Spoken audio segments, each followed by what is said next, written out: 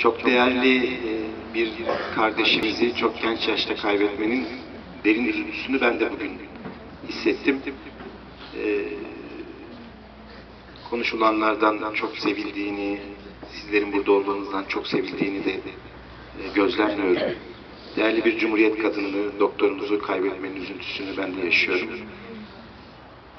Kederli ailesine başsağlığı diliyorum, dayanma gücü diliyorum, sabır diliyorum.